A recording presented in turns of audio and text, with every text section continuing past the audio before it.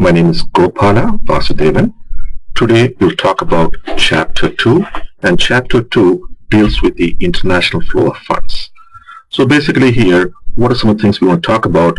We will talk about the key components of the balance of payment. We will talk about how international trade flows are influenced by economic factors and other factors. And finally, we'll talk about how international capital flows are influenced by country characteristics. Okay? So before we do that, I just want to go back and uh, talk about a conversation between Larry Summers and Christine Romer. So Larry Summers was the Treasury Secretary under President Obama. He was also the president of Harvard University and he was also a professor in economics at Harvard. Uh, Christine Romer was the head of the Council of Economic Advisors in the Obama administration. And they had this conversation when Christine Romer was heading towards a Senate hearing to be confirmed as the head of the Council of Economic Advisors. Currently, Christine Romer is a faculty member. She's a professor at the University of California, Berkeley. Okay. So on the way to the Senate hearing, uh, Larry Summers was asking her, what do you think about the value of the dollar? Should the government control the value of the dollar or should it be controlled by the Federal Reserve? So when he asked this question, Christine Romer's answer was the exchange rate is a price much like any other price and is determined by market forces. So just like we talk about the price of an iPhone or the price of a house or the price of a car, basically what her answer was the exchange rate is the price of the currency. And just like anything else, that should be determined based upon supply and demand. Uh, when he heard this, Larry's answer was, you're wrong. The exchange rate is the purview of the Treasury. The U.S. is in favor of a strong dollar. So basically, even though this was 2008, at a time when the economy had crashed, we had a serious financial crisis, Basically, Larry Summers' answer was, we want to make sure that we have a strong dollar. And this is an article uh, that came in the New York Times written by Christine Romer and she was looking at a couple of scenarios. The first one, suppose American entrepreneurs create many products that foreigners want to buy and start many companies that want to invest in, what will happen to the dollar? So in this case, what we are saying is that a lot of uh, new uh, products are coming in the US and these are very attractive and there's a high chance that foreigners might be interested in buying these products. So in this case, chances are there is going to be a strong demand for these products, which basically means that there's going to be a high demand for the US dollar. So in this case, you can expect the US dollar to go up. And basically, this was uh, the scenario pointed out by Christine Romer, and she was clearly referring the time when President Bill Clinton was the president. Both of them are Democrats. And she was talking about the large-scale innovation that is going on in the U.S. And because of that, the economy was strong and the dollar was strong.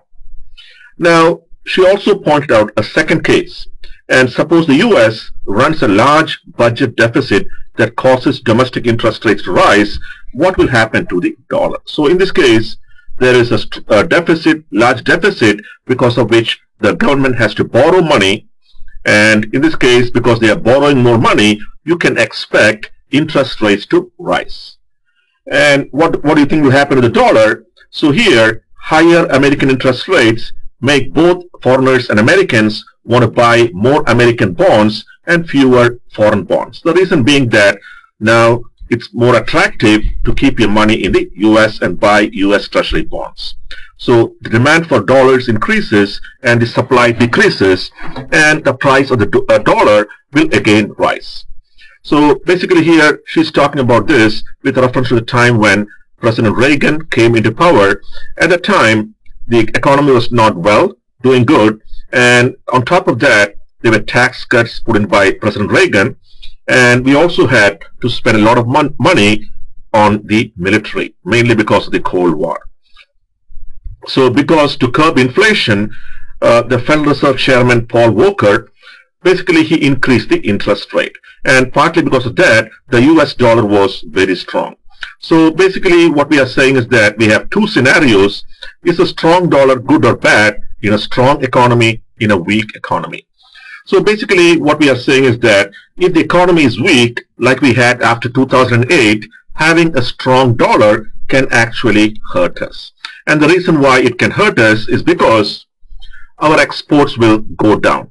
So as the price of the US dollar goes up, US companies have to increase the price of their products, which makes them less competitive.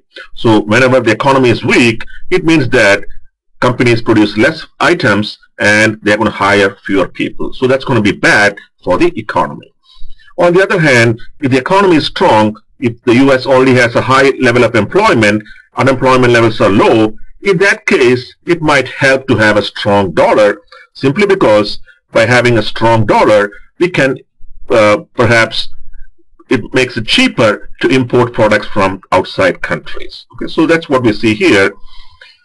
Uh, whether you want a strong dollar or whether you want a weak dollar depends upon the economy. When the economy is weak, you don't want to have a strong currency. It actually curbs uh, employment. It can curb exports and curbs employment. On the other hand, if it is weak, when the economy is strong, it makes sense to have a strong dollar. Okay? Now let's go back to the to chapter. We want to talk about the different components. Okay, so the first one is the balance of payment. And what is the balance of payment? That basically tells you it's a summary of the transactions between domestic and foreign residents for a specified country over a specified period of time. So usually what we look at is we look at the transactions over three months, over six months, over one year, and so on. Okay. And in this case, the current account is a summary of the flow of funds due to purchases of goods or services or the provision of income on financial assets. So there are two components here that we're talking about. First is purchase of goods or services, and the second is provision of income on financial assets. So as an example, Walmart might be importing some products from China. So that is a outflow to purchase a good. That's an example. Another example would be uh, investors abroad are buying the US bonds. In this case, the US government has to make payments on the bonds. So that would be a provision of income on financial assets.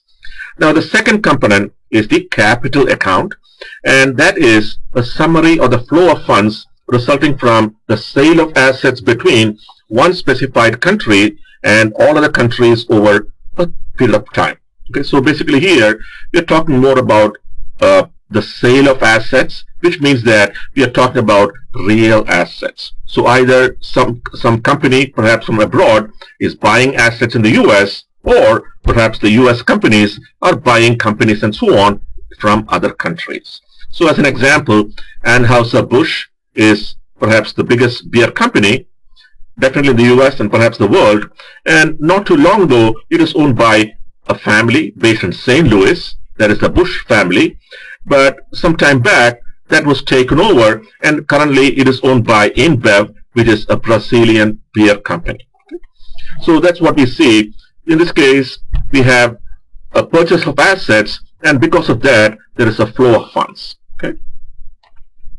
Now, when you look at the current account, there are three parts to that. The first is payments for merchandise and services. Okay, that's the first part. The second is factor income payments. So that would be interest payments and dividends payments. The third one is transfer payments. So these are gifts made by either U.S. nationals to other countries or uh, other people sending gifts to the U.S. Okay. So here we have quite a few examples. The first one is J.C. Penney purchases stereos produced in Indonesia that it will sell in the US retail stores. So what is that?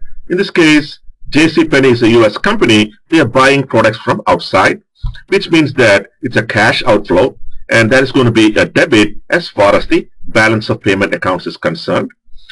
Let's look to next one. The Mexican government pays a U.S. consulting firm for consulting services produced by the firm, provided by the firm. So what we see here is that the U.S. is very well known for their service industry and maybe for consulting a Mexican government is paying a US company, that could be an IBM, that could be an HP, and so on, a payment. So that is going to be a cash inflow, and that is a credit and the balance of payments. The next one uh, we want to look for is a US bookstore uh, in Ireland, sorry, a university bookstore in Ireland purchases textbooks provided by a US publishing company. So that's a foreign entity purchasing goods from the US. That is going to be a cash inflow and that is going to be a credit as far as the accounts are concerned. Now we want to talk about international income transactions. A US investor uh, receives a dividend payment from a French firm in which he purchased stock. So what we see here is that we are talking about factor income payments. Okay, so that is the second component. And in this case, it is a U.S. investor investing in a foreign stock and when they receive the dividend, that is a cash inflow and that is a credit as far as the accounts are concerned. Uh, the next one is a Mexican company that borrowed dollars from a bank based in the US sends an interest payment to that bank. Okay, so uh, the US is the lender and when they receive the interest, that's going to be a cash inflow. Now we want to talk about the third component and that is we want to talk about transfer payments. So transfer payments, some examples are the gifts. And here the U.S. Uh, provides aid to Costa Rica in response to a flood in Costa Rica. So that is a gift being given by U.S. nationals or perhaps the U.S. government to a foreign country and that is a cash outflow and that is a debit as far as the balance of payment is concerned. So what we have here is that we have a summary of the current account in the year 2008. And what do we see here? So the first is U.S. exports of merchandise that is 1,148 billion. U.S. exports of services is 497 billion. U.S. income receipts, that is 818. So all of them together add up to 2,463 billion dollars. And U.S. imports of merchandise is 1,967. U.S. imports of services is 378 and U.S. income payments are 737. Okay. So what we see here is that it talks about the U.S. imports and income payment. And what we see is that there is a difference between the exports of the U.S., which is 2,463 billion, and what we actually imported, that is much higher, that is 3,082. Now, the net transfer by the U.S. is 112, and the current account is the total U.S. exports and income receipts minus the U.S. imports and income payments minus the net transfers. So that is a negative 731. Okay? So that basically shows that we are importing a lot more products than we are exporting. Now, next, we want to talk about the capital and financial accounts. And what are the different components? The first is direct foreign investment. So one example would be companies from outside buying companies in the US. We talked about Anheuser-Busch being purchased. The second would be portfolio investment. So they are investing in securities. The third one is other capital investment. So one example would be foreign entities investing in US treasuries or that would be the money market. And the last one is we have errors and omissions. And what does it mean? Basically what it tells you is that the negative current account may not be the same as the positive capital and financial account. So there could be some mismatch and because of that we have a fourth component that is the errors and omissions. So what I have here is that we basically talk about the distribution of US exports and imports in 2008. And what we see here is that most of our exports okay, were to our neighbors. So to Canada, we exported 20% of 20% uh, of our exports. To Mexico, that is 12%. Okay, so 32% of our exports are with our closest neighbors. Then we have Germany, 4%. We have UK 4%, France is 2%, and so on. Okay. To China, we export 5%. Now, what about the imports? With our imports, again, what we find is that we have a lot of trade with our closest neighbors, that is Canada and Mexico. So 16% of our imports are from Canada and 10% are from Mexico. But when you look at the imports, what we also see is that 16% of our imports, so the largest imports other than Canada is with China. And that's one of the problems that we have, that is we export a lot less to China when compared to our imports.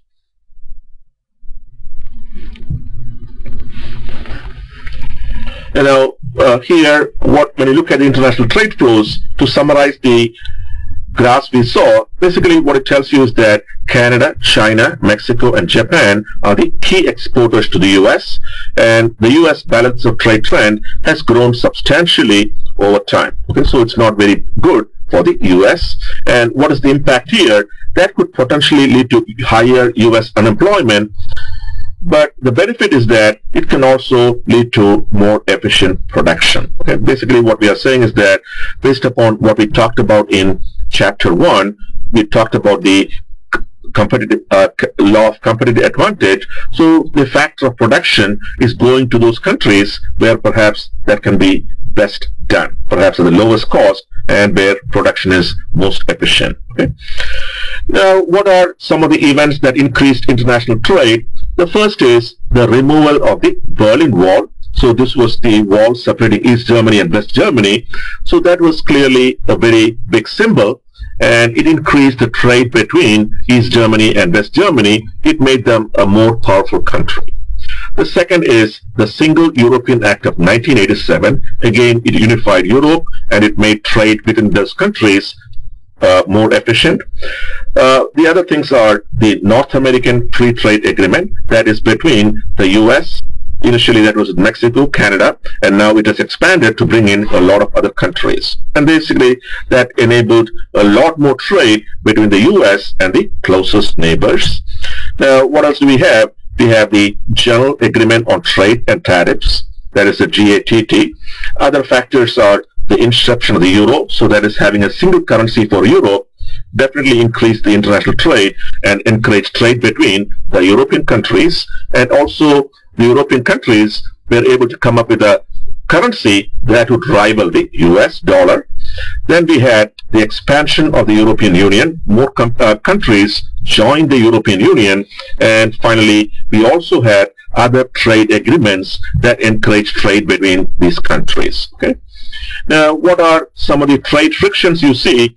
The first one is environmental restrictions. So basically here, what we are saying is that in the US, the environment laws are quite strict and they say that you know companies for example cannot pollute uh, the rivers or the sea and so on they have to have a certain standard as far as the environmental concern is concerned and usually what that means is that that makes perhaps US companies less competitive when compared to companies that are operating in countries where the restrictions are less. The second is labor laws. And what we see is that in the US, child child labor is prohibited, but there are other countries where although in theory it is prohibited, in practice that is quite prevalent. And again, that means that these countries might have an un unfair advantage and it, they might also not be doing something ethical as far as the trade is concerned. The third factor is bribes. So in some countries, you know, corruption is very rampant and mainly because of that, when US companies operate in those countries, they have to bribe the local officials. Now in the US, clearly that is prohibited and partly because of this, even now there is an arrest warrant in Nigeria against Dick Cheney, who was the vice president. And the, there, the concern is that when he was the CEO of Halliburton, the company bribed some of the officials in Nigeria. Now, what is the fourth uh, trade friction? That is government subsidies. And what is that? So, for example, if you look at Europe, a, a few countries have come together to create the company that manufactures the Airbus. And in this case, uh, their main competitor is Boeing. And Boeing is a private, uh, is a publicly traded company that has stock and the owners are the stockholders. And basically what Boeing says is that Airbus, because they are supported by three governments, they have an unfair advantage when compared to a publicly traded company. So that is one example of a government subsidy creating an unfair advantage for some companies. Now, in recent times, U.S. companies have also complained that some of the bigger Chinese companies are owned by or pretty much backed by the Chinese government and basically what that means is that they will have an unfair advantage when compared to regular US companies that try to compete with them okay now what else is there for trade friction would be tax breaks so some countries give more tax incentives to some of the industries which means that those industries can compete more effectively against foreign companies that may not have such tax breaks or subsidies. Okay. Now, what about trade policies? So, what are some of the ways in which countries uh, might compete with different types of trade policies? The first one is using the exchange rate as a policy. So, we talked about 2008. So, in 2008, the U.S. government decided to let the US dollar go down in value. And the reason being that they wanted to make US companies more competitive in the markets and by bringing the value of the US dollar down, they were able to do that. A second example is outsourcing. So right now in the US, there has always been a hue and cry about outsourcing of jobs to India, to China, and so on. And basically, uh, you know, the Obama government, for example, has said that we will try to close the loopholes. We will try to make sure that companies that outsource the jobs do not get any tax breaks. So that's an example where the government is trying to take an action against outsourcing companies. Okay. Uh, managerial decisions about outsourcing. So I think the textbook talks about a case where uh, a person who owns a Japanese car and you know, who buys a lot of products from China is basically saying that he's against outsourcing.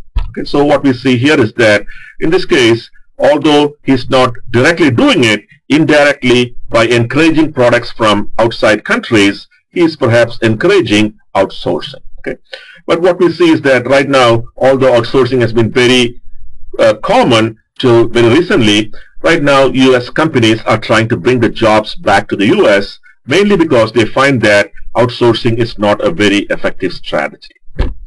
Uh, what else do we see? Other examples are using trade policies for security reasons. So some examples are not too long ago, a Middle Eastern company got the contract to run the ports in the US. So they would be managing the ports in New York, perhaps Chicago, and some of the other major ports around the country. At that point, some of the top senators and congressmen, they came together and they basically said that we do not want our security to be given to an outside company, especially one that comes from the Middle East that may not be very safe for the US. And basically that contract was cancelled. Okay, so that's an example where we are trying to turn a trade policy mainly for security reasons. Okay, and the last one is using trade policies for political reasons. So typically, whenever we have an election year, we find that most of the uh, candidates typically say that China is deliberately keeping their currency low, and they are doing that mainly for keeping their exports high. Now, this is mainly for political reasons to, you know, to appeal to the constituents rather than perhaps for any rational reasons. Okay. Now, what are some of the factors that affect the international trade flows? The first one is inflation. And what we see here is that usually as the uh, inflation goes up, we can expect the current account to decrease. Now, why does that happen? The main reason why that happens is because when we have high inflation, it also means that the prices of the goods produced are high in the US, which means that perhaps uh, companies as well as individuals might want to buy the same goods from other countries. And in this case, there is going to be an increase in the supply of the dollar. There's going to be an increase in the demand of foreign currencies. So this can decrease the current account. Now the next one is national income. And here what we are saying is that current account decreases if national income increases relative to other countries. So when the economy gets better, we are saying that the current account can go down. Now, the reason why this happens is because as the economy gets better, as the national income increases, it also means that people in the US have more money and they want to import more products, perhaps luxury goods and so on, from other countries. So that is the reason why the current account can decrease. Now, we also want to talk about government policies. So what are some of the government policies that can affect international trade flows? The first one is subsidies for exporters. So India is very competitive in the software market and one of the reasons why the software business has grown exponentially in India is because initially the government gave some subsidies for exporters. They gave tax breaks and so on. The second would be restrictions on imports.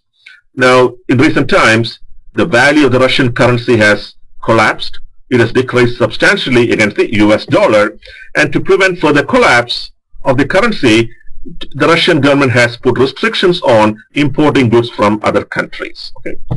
Now, a third government policy that can affect the international trade flows is a lack of restriction on piracy. So whenever the governments do not have strong laws protecting piracy, that can hurt perhaps companies in foreign countries. So as an example, if you look at the software business, piracy is very common in the U India, which means that you can buy Microsoft Office or you can buy uh, some other software, including Adobe Flash and Adobe other products for very cheap prices, less than $10. And that typically hurts US companies, which could make, you know, millions of dollars if the market protects the uh, those companies' patents, copyrights, and discourages piracy. Okay.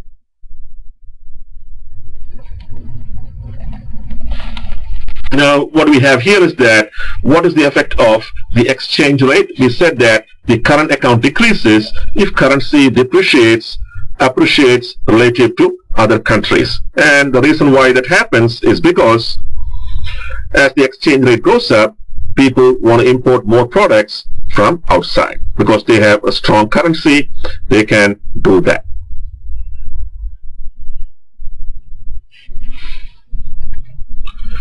Now so as we said before sometimes to encourage exports, what uh, uh, uh, countries try to do is that they deliberately let the currency go down in value.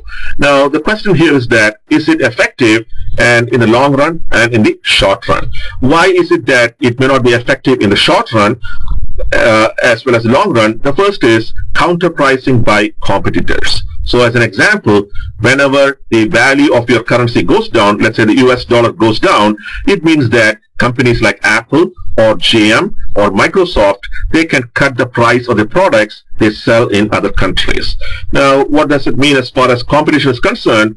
If there are other companies from other countries competing against US uh, companies, it means that to stay in business, to be competitive, they will also cut the prices. Okay. This what about the impact of other weak currencies? So what we are saying is that if the dollar goes down, chances are a lot of other uh, currencies might also go down, which means that those companies can also bring down the prices of their products. A third one is pre-arranged international transactions. So what we are saying here is that, let's say a U.S. airline, such as U.S. Air, is buying aircraft from uh, Airbus. Usually they buy you know hundreds of millions of dollars worth of aircraft and it takes time to produce an aircraft so what that tells you is that the order could have been placed six months back or one year back uh, which means that even when the home currency goes down, there may not be an immediate impact. It may take some time for the effect to be realized. And the last one is intra-company trade. So when you look at US multinationals, they operate in different countries and usually the subsidiaries might produce perhaps part of the components that go into a product and there could be a lot of trade taking place between the company and its subsidiaries. And usually what that means here is that even when the currency changes, when the exchange rate changes, the company may not stop trading with its subsidiaries. So here, what we see is that we have what is referred to as the J-curve effect. And what the J-curve effect tells you is that if, let's say, the US lets the dollar go down in value, what we might find is that in the short run, the US trade balance may not go up as expected, it might actually go down. And the reason why it might go down is because a lot of the transactions could be prearranged and nothing is going to change. But after that, you might find a positive effect and that is the trade balance may improve because of the weaker currency. It makes the exports more competitive and it might actually discourage the imports from other countries. Now, we want to talk about a couple of things. One is explain how the existence of the euro may affect the U.S. international trade. So what is the effect of the having one currency, that is the euro? Okay. And now, if basically here, by having one currency, which is euro, what it means is that a lot of the countries that adopt this currency, they can trade between themselves. So they don't have to trade with the US. And the main benefit of trading between themselves is because they don't have to worry about exchange rate risk. And the second is that the main reason why the European company, uh, countries came up with the euro was because they wanted to have a single currency. By joining together, they could have a single, perhaps powerful currency that could compete effectively against the US dollar. So that was the motivation and till perhaps very recently that was realized. But in recent times, you know, we have the economic economic crisis in Europe and that has uh, caused the value of the euro to depreciate substantially against the US dollar. Okay. Now, assume that the dollar is presently weak and is expected to strengthen over time. How will these expectations affect the tendency of US investors to invest in foreign securities? So in this case, we are talking about Europe, uh, US nationals or perhaps US companies. They are thinking about buying securities from abroad. So if the US dollar is expected to strengthen, okay, let's say the euro is 1.3 and we expect it to go to 1.1. So the US dollar is going to appreciate against the euro. So in such a scenario, US investors may not wish to invest in foreign securities. And the reason being that, let's say they bought a security worth a thousand euros, the price they paid is at a current exchange rate of 1.3, they paid $1,300. When they get their money back, let's say the US dollar has appreciated, it's only 1.1. So even if they get the same 1,000 euros back, it's only worth 1,100. So even if you add some interest to that, they're going to get a lot less money than what they spent. So that's the reason why you might find that US investors may not prefer to invest in foreign securities if we expect the US dollar to appreciate. On the other hand, if we expect the US dollar to depreciate, we can expect the investors to invest more in other countries. And the reason being that when they convert their money back to the US, they're going to get more money. Okay. Explain why a strong dollar could enlarge the US balance of trade. Explain why a weaker dollar could affect the US balance of trade deficit.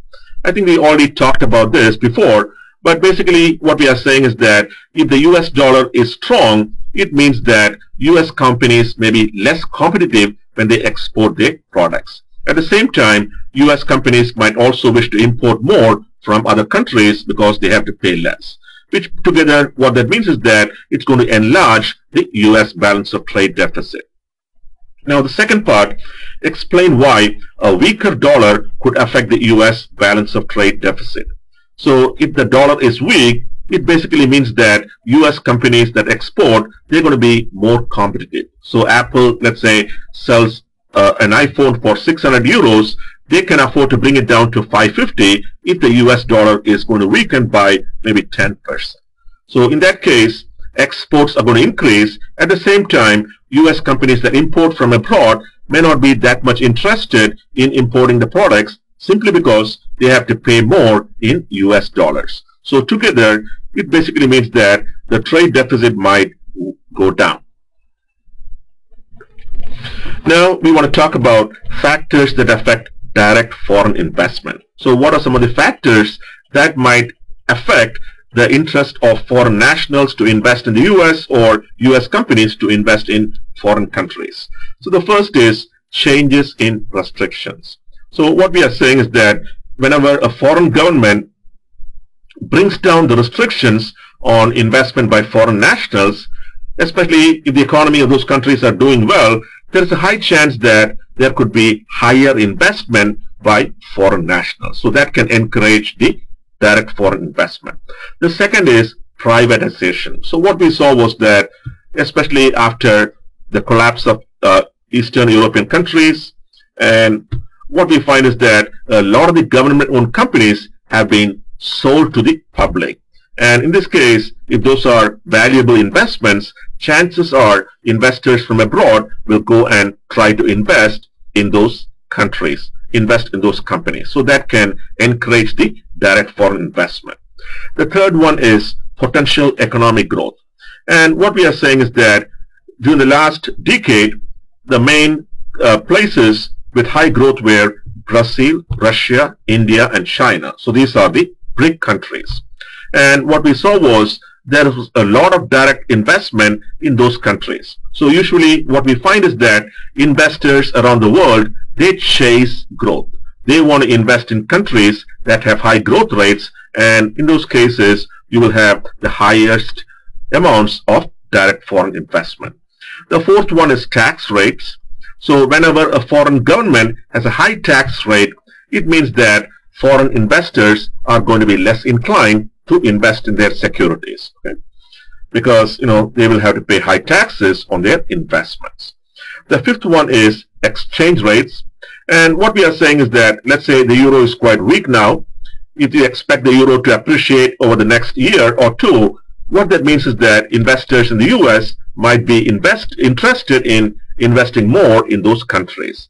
And in this case, if the currency appreciates by 10%, they're going to get an extra 10% about what they put in. So that's the reason why exchange rates can affect the direct foreign investment. And what we see here is that this graph basically tells you the distribution of global direct foreign investment across regions in 2007 and 2008. So what we find here is that uh, a lot of the direct foreign investment took place in the US. Uh, it's around 17%.